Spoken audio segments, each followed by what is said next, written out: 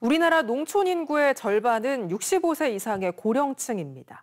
하지만 혼자 외출하는 게 쉽지 않거나 혹은 농촌의 문화 인프라가 부족해서 어르신들이 문화 생활을 즐기는 게 쉽지만은 않은데요. 장날에 맞춰 영화도 보고 치매 상담이나 노래 교실 같은 복지 프로그램에도 참여할 수 있는 어르신 영화관 나들이 사업이 경남에서 처음으로 시작됐습니다. 문철진 기자입니다. 영화관이 없는 군 지역에 정부가 예산을 들여 만든 작은 영화관입니다. 평소 같으면 관람객이 거의 없을 시간이지만 상영관에 있는 36개의 좌석이 어르신들로 가득 찼습니다. 집에만 지내면서 고립감을 느끼는 농촌 어르신들을 위해 경상남도가 영화관을 빌린 겁니다. 모처럼 바깥나들이를 하며 평소에 보기 힘들었던 영화도 보고 사람들과 이야기도 나눕니다. 내가 지금 영화 본지 그한 20년 됐지 싶은데요. 이런 시간을 만들기가 참 어렵죠.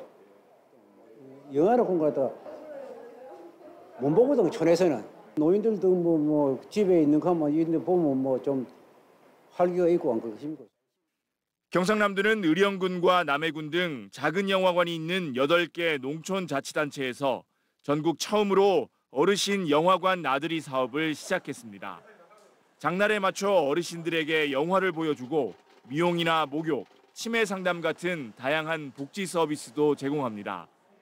영화관이 사랑방 역할을 하면서 자연스럽게 지역사회가 어르신들의 안부를 챙기는 겁니다. 오전에는 관람객이 거의 없는 작은 영화관들은 운영난을 조금이나마 덜 수 있습니다. 이 여가 생활을 통해 가지고 이 고립감 있잖아요.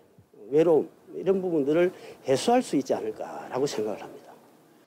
경상남도는 100원 버스나 1000원 택시 등 맞춤형 대중교통 서비스를 연계해 어르신들이 더 편하게 영화관을 오가며 활기찬 일상을 보낼 수 있도록 도울 계획입니다.